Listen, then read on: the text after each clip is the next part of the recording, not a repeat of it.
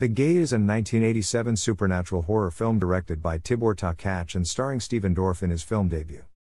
The film follows two young boys who accidentally release a horde of demons from their backyard through a large hole in the ground. An international co production between Canada and the United States, the film was released by the New Century Vista Film Company and grossed around twice its budget. Since its release, it has obtained a cult following and was followed by a sequel in 1990 titled The Gate 2 Trespassers.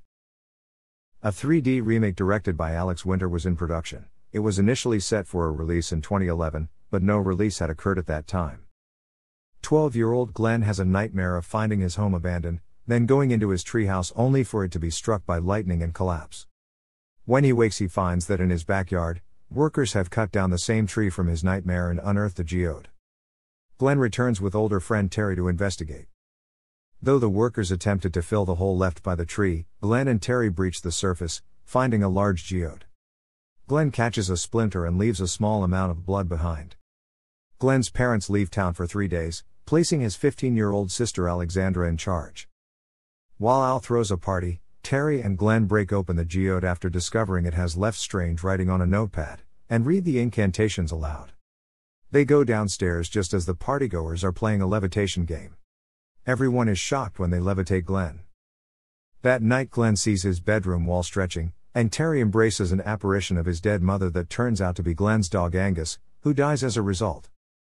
The next day, Terry brings a heavy metal album to Glen's house with lyrics based on the Dark Book. He believes the hole in Glen's backyard is a gateway to a domain of evil gods, and speculates that their actions opened it.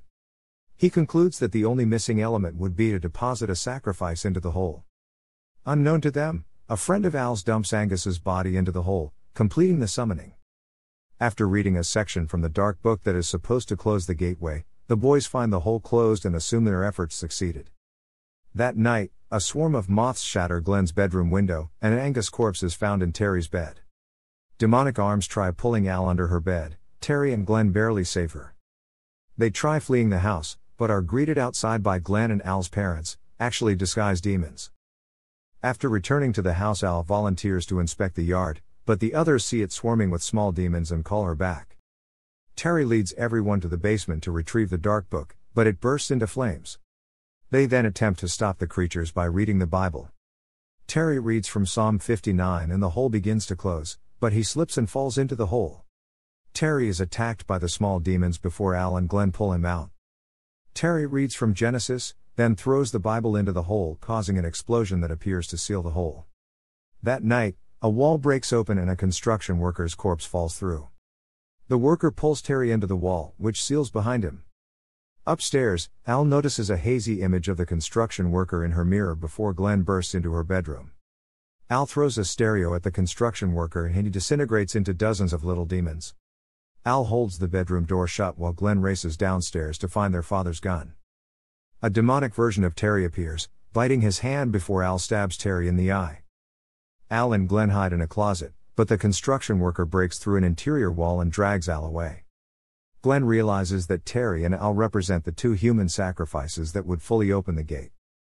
He also realizes that the rocket he had given Al for her birthday, a symbol of love, light, and purity, may stop the rise of the old gods. He makes his way upstairs as the floor collapses, revealing a chasm beneath the house. Glen attempts to launch the rocket, but his matches keep blowing out. The wind sucks Glen onto the foyer, where a giant serpentine demon emerges. The demon pats Glen on the head and touches his hand before returning to the hole. Glen discovers the demon's touch has placed an eye in the palm of his hand.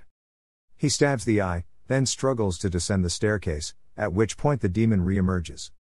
Glen uses a battery-powered launcher to fire his rocket into the demon, causing it to explode. Angus emerges from the front closet, seemingly restored to life. He is followed by Terry and Al, also unhurt.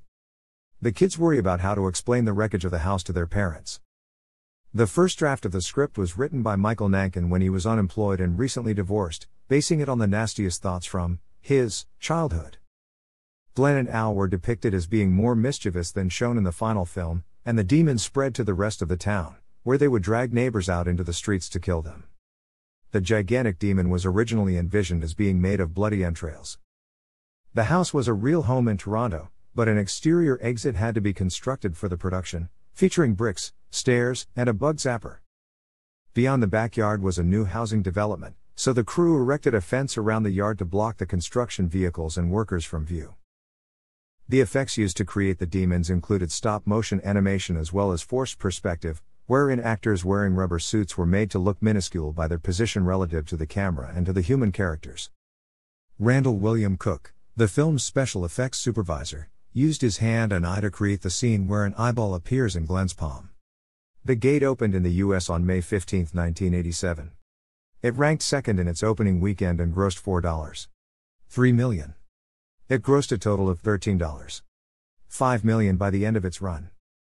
Lionsgate released a special edition DVD on October 6, 2009, with audio commentary from the director and interviews. They later released a Blu ray version via their label Vestron Video on February 28, 2017. It includes commentary from the filmmakers and several featurettes. Review aggregation website Rotten Tomatoes reports an approval rating of 60% based on 10 reviews and a rating average of 5. 80 tenths.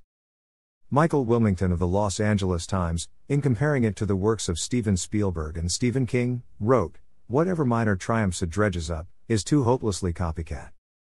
In rating it 3 fifths stars, TV Guide called it a surprisingly effective and refreshingly uncynical horror film that may be too wimpy for some horror fans. Commenting on the film's dreamlike plot, Time Out said it could have been a cult film had the filmmakers abandoned their attempts to tie together the bizarre elements. In a retrospective review, Odie Henderson of Slant magazine wrote, If you can get in touch with your inner 12 year old, The Gate is a pleasant diversion. Henderson identifies family values as a core theme, though it is subtle enough not to be preachy. Reviewing the DVD for Dread Central, Paul Nicolosi rated it 4.